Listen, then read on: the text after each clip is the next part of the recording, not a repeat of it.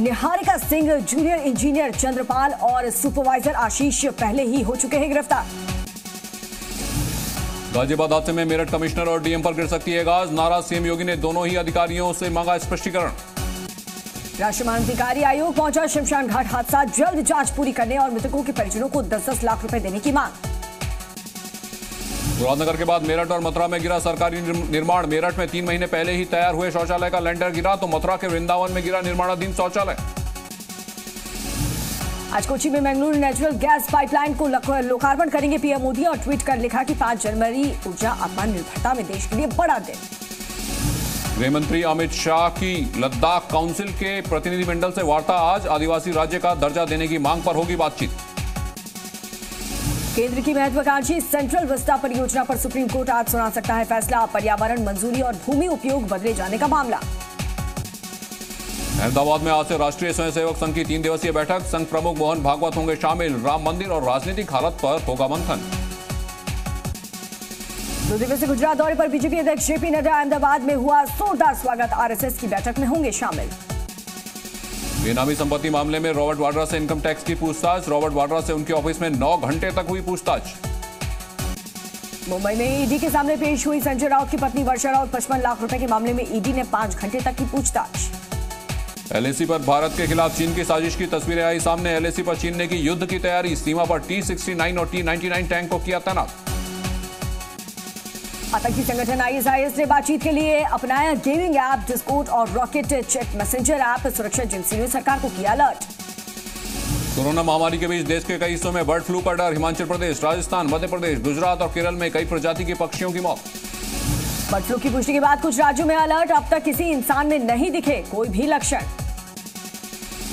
जम्मू कश्मीर में भारी बर्फबारी के कारण नेशनल हाईवे चौवालीस हुआ बंद बर्फबारी के कारण 2500 से ज़्यादा लोग हाईवे पर फंसे। भुवनेश्वर में सोमवार को बीजेपी कार्यकर्ताओं का राज्य सरकार के खिलाफ प्रशासन प्रदर्शन देखने को मिला। बंगाल की तरह ओडिशा में भी राजनीतिक हत्याओं का आरोप लगाया। सिंगू बॉर्डर पर आज फिर किसानों की बैठक। दो बजे तय होगा आंदोलन में आगे का प्लान। आठ जनवरी को होने वाली बैठक की बनेगी रणनीति। सरकार और किसानों के बीच आठवें दौर की वार्ता बेनतीजा। अब आठ जनवरी को होगी अगली बैठक। किसान नेता राकेश टिकैत का बड़ा ऐलान। कहा जब तक कृषि कानून की वापसी नहीं तब तक हमारी घर वापसी नहीं। किसानों को सरकार एमएसपी पर लिखित गारंटी देने को तैयार लेकिन किसान नेताओं ने नहीं दिया कोई भी जवाब। एमएसपी पर सरकार के प्रस्ताव पर भी नहीं बनी बात। टिकैत ने कहा आठ जनवरी को एमएसपी पर भी होगी बात। कृषि मंत्री तोमर ने कहा कि किसान संगठन की तरफ़ से कृषि कानून रद्द करने पर अड़े रहने के कारण आठवें दौर की बातचीत में नहीं निकला कोई भी रास्ता। केंद्रीय मंत्री तोमर ने 8 जनवरी को किसानों के साथ सहमति बनने पर जताया भरोसा। कहा सरकार ने किसानों को ध्यान में रखकर ही कानून बनाना है बनाया है। किसानों के साथ वार्ता विफल होने पर अखिलेश यादव ने ट्वीट कर लिखा कि सरकार ने फिर निरंतर वार्ता करके बैठक के लिए अगली तारीख दे दी। जन अधिकार पार्टी के अध्यक्ष पप्पू यादव ने की एमएसपी पर कानून की वकालत। कहा स्वामीनाथन कमेटी की रिपोर्ट अब नहीं चलेगी नई रिपोर्ट की ज़रूरत।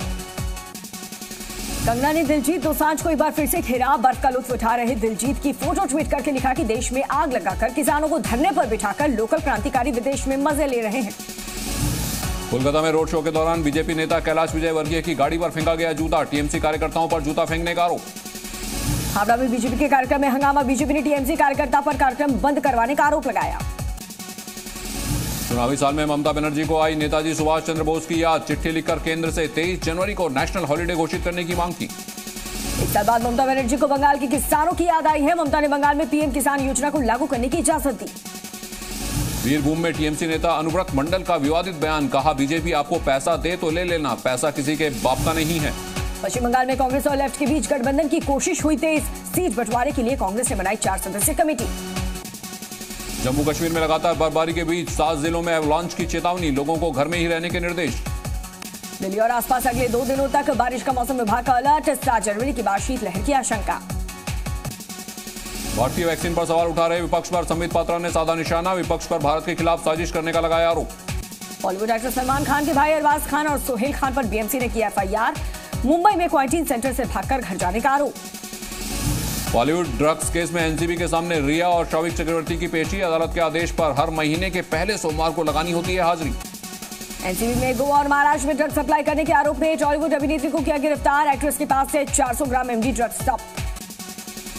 हिमाचल प्रदेश के कांगड़ा में फैला बर्ड फ्लू। प्रशासन ने मुर्गा पक्षी और मछलियों के बेचने पर लगाई रोक। पोंग डैम डैम में एक किलोमीटर के इलाके में जाने पर रोक।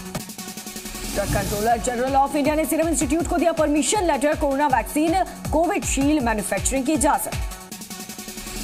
हैदराबाद और दुबई एयरपोर्ट के बीच वैक्सीन ट्रांसपोर्टेशन के लिए बनेगा air freight corridor Hyderabad to Dubai global vaccine corridor के लिए एमओयू साइन वैक्सीन को लेकर के भारत बायोटेक के सीएमडी और जीएमडी का बयान सामने आया। कहा कि ये देश का सबसे बड़ा क्लिनिकल ट्रायल है।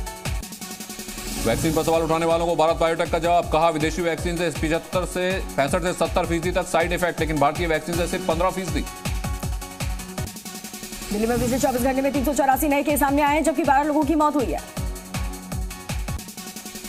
देश में बीते 24 घंटे में कोरोना के 16,000 से ज़्यादा नए मामले आए सामने। कोरोना संक्रमण से 214 लोगों की मौत। धन परिवर्तन अध्यादेश के समर्थन में 224 पूर्व अधिकारियों ने लिखी चिट्ठी। पहले लिखी गई 104 पूर्व आईएएस अफसरों की चिट्ठी को बताया राजनीति से प्रेरित। मेरठ में चार और लोगों में मिला कोरोना का नया स्ट्रेन दो साल की बच्ची के ही परिवार के चार और लोग हुए नए स्ट्रेन से संक्रमित। अब अयोध्या में रामलला की संध्या आरती में शामिल हो सकेंगे श्रद्धालु। श्री राम जन्मभूमि तीर्थ ट्रस्ट जारी करेगी आरती के लिए पास। रॉबर्ट वाड्रा की मुश्किलें बढ़ी। इनकम टैक्स की टीम रॉबर्ट वाड्रा के दफ्तर पहुँची। बेनामी संपत्ति के मामले में पूछताछ। आज पूरे उत्तर प्रदेश में होगा कोरोना वैक्सीन का ड्राई रन। लखनऊ में बारह तो प्रदेश के बाकी चौहत्तर जिलों में बनाए गए हैं छह छह vaccination centre. UP BJP core committee की बैठक में कई महत्वपूर्ण फैसलों पर लगी मुहर। विधान परिषद चुनाव के संभावित उम्मीदवारों की सूची केंद्रीय समिति को भेजने का प्रस्ताव पास। यूपी पावर कॉरपोरेशन लिमिटेड में लगाया गया एस्मा अब छह महीने तक हड़ताल नहीं कर सकेंगे कर्मचारी। छात्रों के लिए योगी सरकार का बड़ा कदम। छात्रों को प्रतियोगी परीक्षाओं की मुफ़्त मिलेगी कोचिंग। सहारनपुर में बस और टाटा मैजिक की आमने सामने भिड़ंत हुई। दो लोगों की मौत तीन लोग घायल। जौनपुर जिला जेल में बंदियों और जेल अधीक्षक में कहा सुनी आपस में लड़ रहे कैदियों को समझाने गए थे जेल अधीक्षक। वाराणसी में सामुदायिक स्वास्थ्य केंद्र से दो बैटरी दो लैपटॉप और दो टेबल चोरी पूरी वारदात सीसीटीवी में कैद। बाराबाकी में तेज रफ्तार ट्रैक्टर ने एक साइकिल को रौंदा। साइकिल पर सवार तीन लोगों में से बाप बेटे की मौत एक महिला गंभीर रूप से घायल। आगरा में गाड़ी टकराने के विवाद में चार युवक आपस में भिड़ गए। युवकों ने विवाद में बीच बचाव कर रही एक महिला से भी धक्का मुक्की की। फरुखाबाद के फतेहगढ़ स्थित Sikh light infantry regimental centre में पासिंग आउट परेड का आयोजन। दो सौ सत्तासी जवानों को शपथ दिलाई गई। रविवार को देश का सबसे प्रदूषित शहर रहा लखनऊ। 408 दर्ज किया गया एयर क्वालिटी इंडेक्स। बारिश के बाद भी नहीं हुआ वायु प्रदूषण में कोई भी सुधार। मथुरा में असलाह तस्करी पर पुलिस की कार्रवाई। पाँच आरोपी गिरफ़्तार एक तमंचा तीस कारतूस गाड़ी बरामद। यूपी में एसडीआरएफ को और प्रभावी बनाने के लिए इसके तकनीकी और मेडिकल स्टाफ में होगा इजाफा। अलीगढ़ नगर निगम ने अलीगढ़ मुस्लिम यूनिवर्सिटी का बैंक खाता किया सीज। एमयू पर नगर निगम का 14 करोड़ अट्ठानवे लाख से ज़्यादा रुपए का टैक्स बकाया। यूपी के बाराबंकी में बेकाबू ट्रैक्टर ने बाइक सवार दंपति को रौंदा हादसे में पिता और उसके बच्चे की मौत। फरुखाबाद में Sikh light infantry regimental centre में पासिंग आउट परेड का आयोजन। भारतीय सेना को मिले दो सौ सत्तासी नए जवान। बैराज के खेरीघाट में पुलिस ने बारह खनन माफियों को किया गिरफ़्तार। मौके से आठ ट्रैक्टर ट्रॉली और एक जेसीबी भी जब्त। एमपी में कांग्रेस में फूट आई सामने। नाराज़ कांग्रेस कार्यकर्ताओं ने भोपाल में पूर्व सीएम और प्रदेश कांग्रेस प्रदेश कमलनाथ के बंगले के बाहर दिया धरना। कोरोना वैक्सीन पर बोले सीएम शिवराज सिंह चौहान मैं अभी नहीं लगवाऊँगा वैक्सीन पहले बाकी को लग जाए उसके बाद मेरा नंबर। सीएम भूपेश बघेल ने नक्सलियों से की बातचीत की पेशकश कहा पहले छोड़े हथियार फिर सरकार भी खुले मन से बात करने को तैयार। उज्जैन में एक रेल इंजन की बर्थडे पार्टी चौदह साल से बेकार खड़े इस इंजन से सत्तर के दशक में पूर्व नैरो गेज ट्रेन का संचालन किया जाता था। वन नेशन वन इलेक्शन के मुद्दे पर झारखंड में सियासत तेज। कांग्रेस और जेएमएम ने कॉन्सेप्ट को बताया बेकार। बीजेपी नेताओं ने गिनाए फ़ायदे। वन नेशन वन इलेक्शन पर कानून बनाने की संभावना से भूपेंद्र यादव का इनकार कहा कि सभी सियासी दलों की सहमति के बाद ही किया जाएगा लागू। बीजेपी पर आरजेडी का आरोप अपना एजेंडा थोपना चाहती है बीजेपी। देश आरएसएस से नहीं संविधान से चलेगा। वन नेशन वन इलेक्शन संविधान की मूलधारा के विपरीत।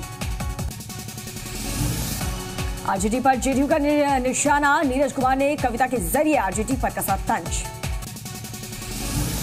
कोरोना वैक्सीन को लेकर थम नहीं रहा सियासी घमासान। बिहार कांग्रेस विधायक दल के नेता अजीत शर्मा ने की पीएम मोदी से सबसे पहले कोरोना वैक्सीन लेने की अपील।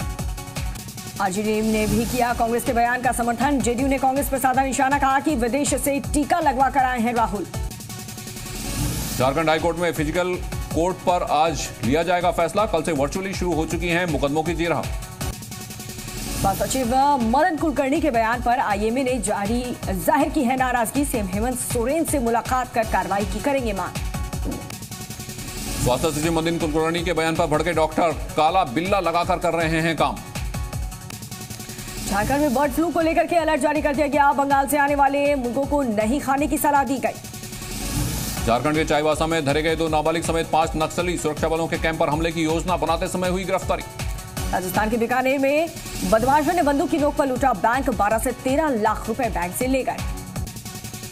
देश की सबसे बूढ़ी 30 साल की शेरनी बेगम की हुई मौत 2005 में सरकार से लाया गया था बायोलॉजिकल पार्क। गूगल की पेज कंपनी अल्फ़ाबेट के अमेरिका और कनाडा के कर्मचारियों ने बनाया लेबर यूनियन।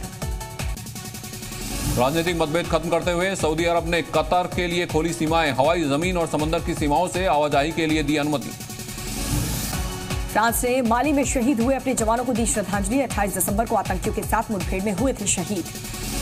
कैनरी आइलैंड से स्पेन ने 44 प्रवासियों को किया रेस्क्यू। कोरोना काल से अब तक तेईस हज़ार से ज़्यादा प्रवासी स्पेन में आ चुके हैं। रूस की राजधानी मॉस्को में 12 महिला मेट्रो ट्रेन ड्राइवर्स ज्वाइन की ड्यूटी और देश के लेबर लॉ में बदलाव के बाद महिला ड्राइवर्स की हुई भर्ती।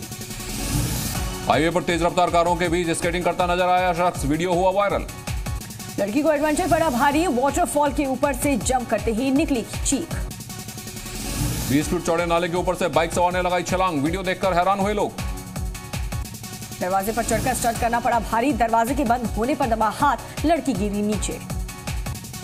ब्रूसली का फ़ैन है ये नन्ना बच्चा। नॉनचक चलाने में है एक्सपर्ट। बच्चे का हुनर देखकर लोगों ने की तारीफ़। लहरों से टकराकर पलट गई स्पीड बोट। पानी में गिरे सभी सवार लोग और सबको रेस्क्यू किया गया।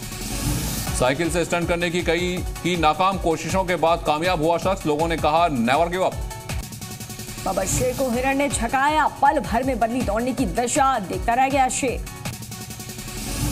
सड़क किनारे डिस्प्ले पर शेर की छलांग देखकर महिला की निकली चीख, शेर ने लगाई छलांग तो महिला चली भाग।